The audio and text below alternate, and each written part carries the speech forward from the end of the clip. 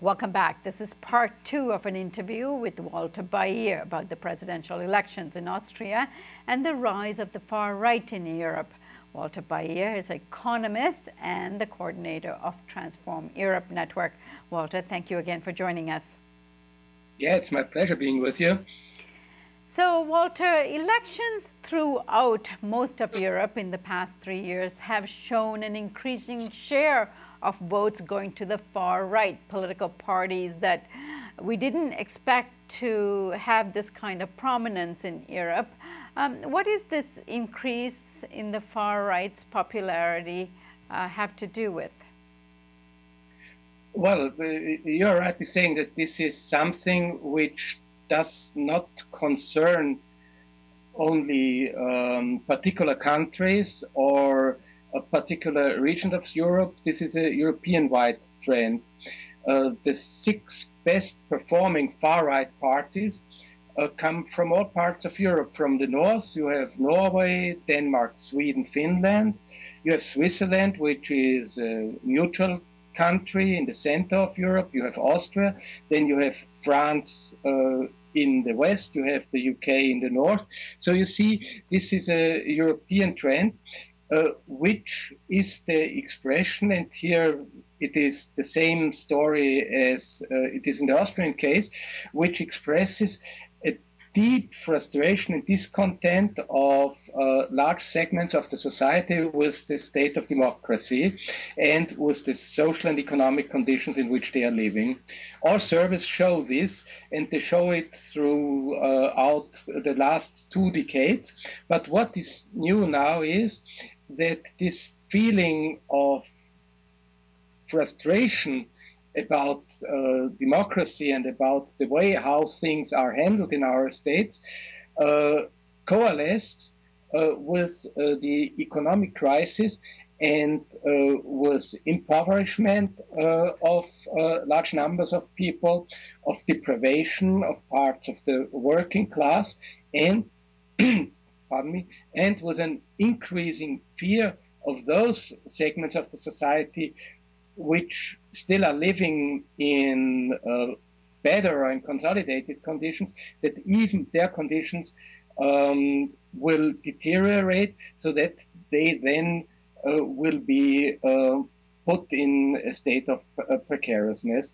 And the, the um, uh, leading parties, the big coalition of the leading parties uh, on the European level, which are the conservatives, the social democrats, and the liberals, uh, show and demonstrate that they are either not willing or not apt to cope uh, with this situation, as they are um, more or less engaged uh, with employing policies of austerity, of downgrading social and uh, welfare state uh, arrangements, and so on and so forth. All things which frighten and scare people. And um, this leads to a polarization. It's not uh, unilaterally so that uh, this uh, this content is only articulated by uh, far right parties.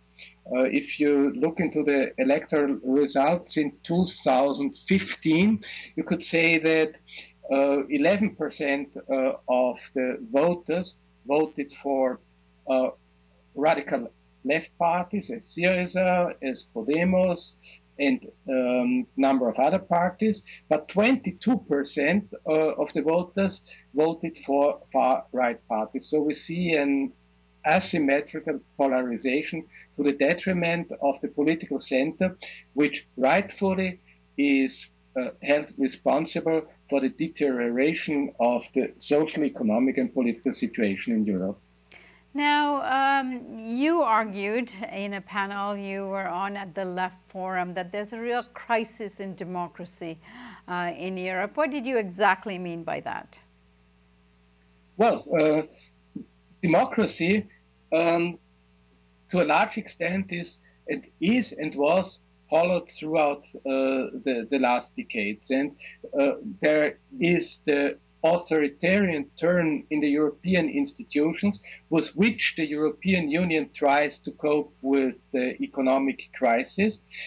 However, as long as people had the feeling that things are going well for them as long as real wages increased and um, unemployment rates remained low as long as um, uh, labor uh, relations seem to be stable. Uh, this did not result in tremendous shifts uh, in, the, in, in, the, in the political system.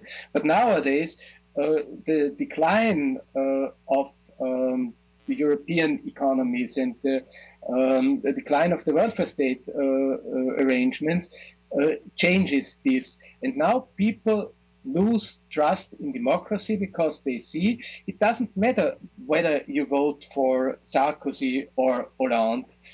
Both of them uh, employ the same policies, the same policies of cuts. People feel not heard and taken seriously, and this results in a decline of trust in democratic institutions as such. And this is articulated by the authoritarianism um, promoted uh, on the part of the far right. Walter, the rise in nationalist parties and uh, and far right parties is certainly gaining momentum in Europe altogether. If you tally it all up, but also in specificities, as we mentioned earlier, in places like Switzerland, France, in uh, Hungary, uh, and so forth. Um, what are the political reasons? You defined some economic and social conditions, but what are the political reasons for this kind of a rise in the right?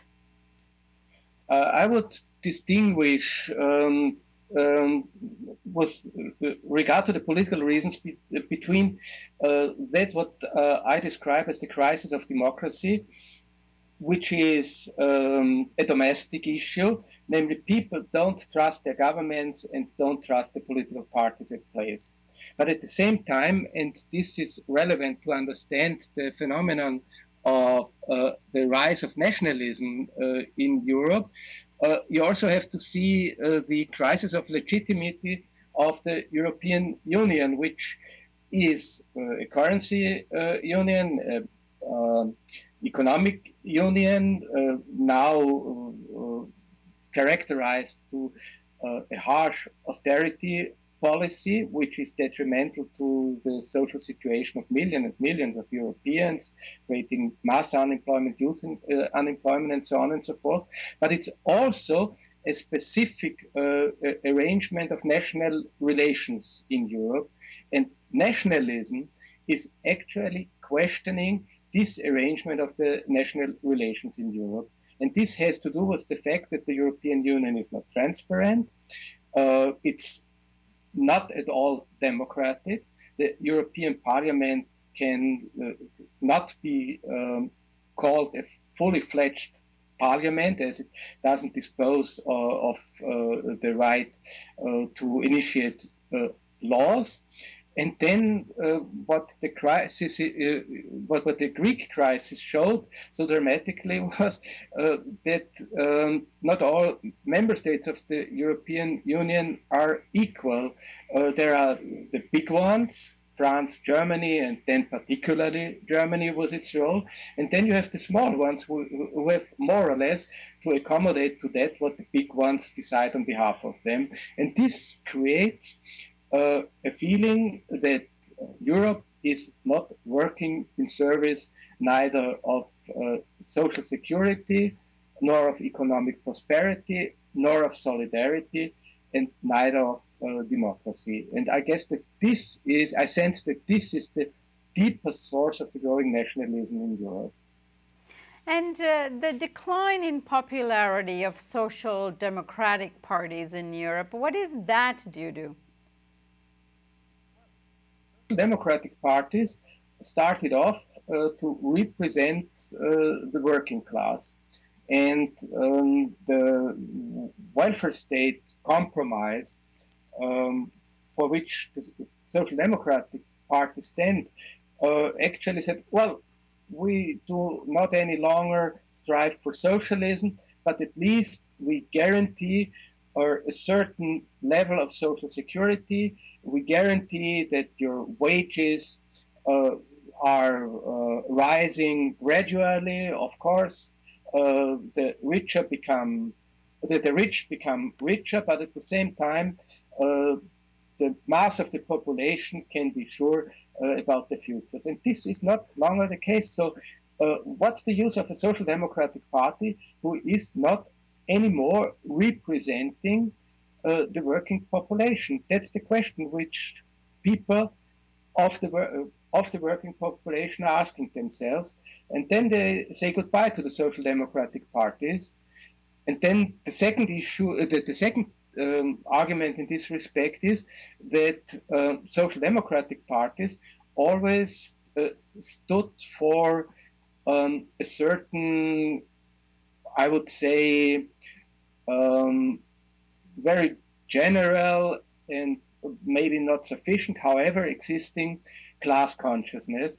Uh, they under, uh, they stood for uh, the interpretation uh, which many people uh, in the in our population shared that there are upper classes and lower classes, and the lower classes have the only thing which they have to defend themselves were trade unions and were solidarity, and this idea actually has been abandoned by most of the European social democratic parties. But if there is no solidarity within uh, among the lower classes, uh, then parts of the lower classes start turning against each other. Then certainly people find out, well, there are the migrants, there are the teachers, there are the public servants who take money away from us. And this is the fertile ground for um, right populist uh, argumentations, which now are gaining ground in the working populations of our societies. Walter I thank you so much for joining us today, and we hope to have you back very soon. Okay, thank you very much for your interest. See you soon, hopefully. And thank you for joining us on the Real News Network.